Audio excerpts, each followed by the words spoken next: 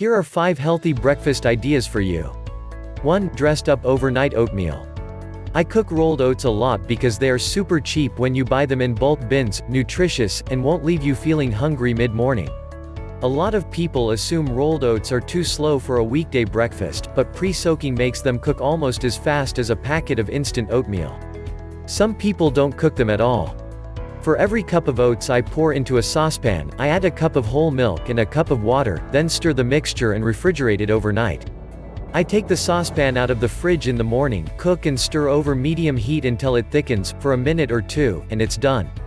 Microwaving works too, though it leaves the oats chewier than I personally prefer. Cutting a banana over the top dresses up the oatmeal a bit but to make it feel like a real treat fill up a few little cups with nuts, dried fruit, and brown sugar or honey. If you have a slow cooker, that works for overnight preparation too. 2. Breakfast frittata. Start the day right with a well-balanced wedge of eggs, veggies and cheese or meats. Cooking a frittata takes more than 5 minutes, of course, but warming it up does not. Either bake one in advance expressly for a day or two of family breakfasts, or save some dinner leftovers. One reason I love frittatas is that they're so flexible, taking advantage of just about any building blocks you've got in the fridge, pantry or garden. Instead of using a skillet, I bake them in a 9-inch pan, which is easier to store in the fridge. These muffin tin versions are also great, and can be eaten on the go. Bonus, they taste good warm or room temp. 3. Egg Muffin Sandwiches. There's a reason fast food versions of these egg sandwiches are so popular, they're warm, satisfying, and hit all the toasty, cheesy pleasure points. They can also be eaten relatively neatly with one hand on the way to the bus stop. Our simple version, put an English muffin in the toaster. While it's toasting, crack an egg into a microwave-safe cup, mix it with about a teaspoon of water and some salt and pepper. Microwave the egg for 40 seconds.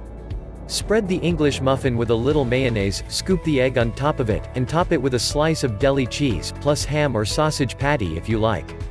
This variation uses plain toast and has you melting the cheese in the microwave at the end. 4. Granola. There's not much easier than boxed cereal, but a lot of varieties leave my kids hungry by mid-morning. Granola is an exception, filled with nuts and dried fruits, but buying it gets expensive. Luckily, it's ridiculously easy to make, as you see with recipes like this one.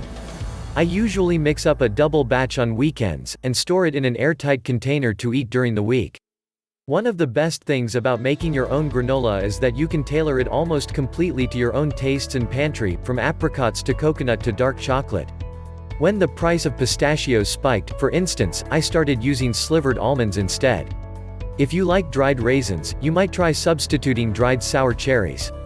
5. Waffle Wednesdays, or any other weekday. My daughter's brave kindergarten teacher had Waffle Wednesdays each month, where she somehow served fresh-made waffles to 25 kids. No matter how many waffle makers and parent volunteers you have, I still don't know how that could work. The time it takes to cook waffles one by one is too much for me on a weekday morning. So when I'm making them with time to spare on a weekend, here's a good basic recipe and also an overnight yeasted batter, I go for a double batch, and freeze as many as possible. Pull them out of the freezer on weekday mornings and toss them directly in a toaster or toaster oven.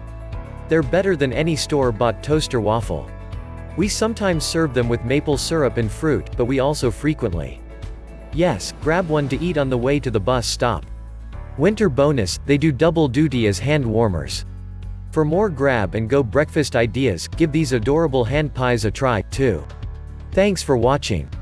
For more videos, do subscribe and stay with us.